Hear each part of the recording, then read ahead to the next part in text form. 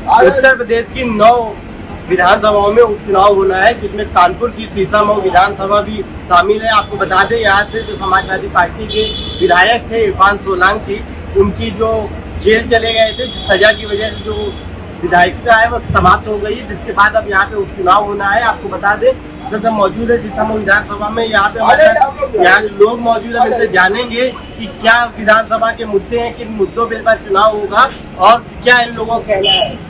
विधानसभा से चुनाव चुनाव होना है। तो क्या देखते हैं किस तरीके चुनाव इस बार देखने को मिलेगा यहाँ पे बीजेपी प्लस हो रही है उन्नीस सौ छियानवे से बीजेपी यहाँ पे जीती नहीं है। इरफान दौरान की जेल चले गए अब उनकी पत्नी को टिकट दिया गया कैसे देखते हैं इसको?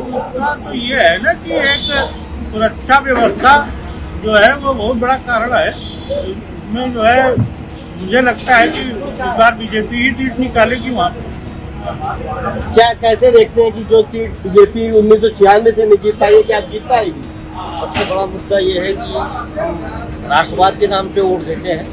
शुरू से बीजेपी को राष्ट्रवाद के तहत मतलब क्या कहते हैं, उसको मतलब हम लाइक करते हैं। और राष्ट्रवाद के तहत ये है कि हम तो बीजेपी से जुड़े हुए वो बात। है और रही बात विकास की तो योगी के रहते हुए इसमें प्रशासन इतना चुस्त दुरुस्त है कि सभी लाइक करते हैं कि बहन बेटियाँ बड़े आराम से मतलब करते हैं घर से रात के चाहे साढ़े दस बजे चाहे यहाँ हो चाहे बाहर हो यूपी के अंदर कहीं भी आ जा सकती है।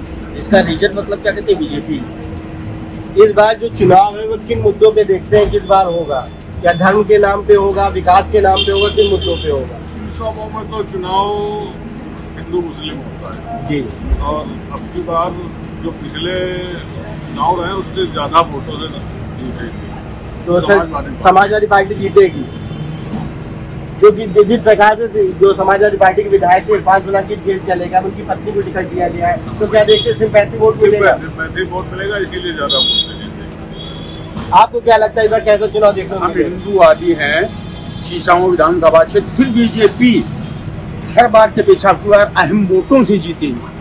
लेकिन 28 सालों से तो यहाँ पे नहीं कमल खिल पाया है। अट्ठाईस और अब में ये अंतर है योगी जी की कानून व्यवस्था गुंडों का पलायन इस कारण जनता जान रही है बहन बेटियाँ सुरक्षित हैं तब हुआ करता था बहन बेटियाँ जा नहीं सकती थी खुले में लोग पकड़ लेते छेड़छाड़ करते मगर आज योगी जी के राज्य में ऐसा कुछ नहीं है बहन बेटियाँ सुरक्षित हैं परिवार वाले चिंता मुक्त हैं हमारी बहन बेटी गई है वापस इज़्ज़त से हमारे घर आएगी और सरकार बीजेपी की ही बनेगी सीसामऊ विधानसभा अहम वोटों से जीतेगी बीजेपी।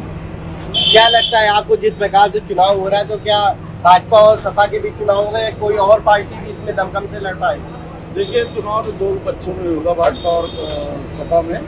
लेकिन अब की हिंदू संगठित है बाबा का जो एक नारा चला है कि कटोगे तो कटोगे उस पर हिंदू एक हो रहा है। जो देखने को मिल रहा है अभी चंडीगढ़ में उसमें हरियाणा में आपने देखा जो बिल्कुल हारी हुई थी।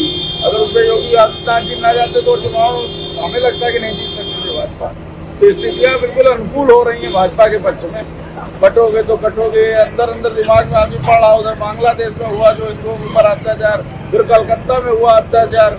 बराबर जो झेल रहा उससे हिंदू संगठित हो रहा। है ये माहौल बहुत अच्छा तैयार हो रहा है उसका उसका परिणाम इसी समूह में देखने को मिलेगा आपको। समूह बीजेपी बहुत अच्छे वोटों से जीत कर बाहर आएगी। ये हमारे साथ क्षेत्र के लोग मौजूद थे जो बता रहे थे जो इस बार चुनाव होगा वह कहीं ना कहीं दोनों पार्टियों के बीच होगा जो 28 साल से यहाँ पे बीजेपी अपनी सीट नहीं जीत पाई है। तो कहीं ना कहीं लोगों को उम्मीद है कि इस बार जो हिंदू वोट है वो संगठित होगा और जो योगी फैक्टर है वह इस विधानसभा में काम करेगा और बीजेपी यह सीट जीत सकती है। मैं प्रताप सिंह न्यूज़ एटीन कानपुर।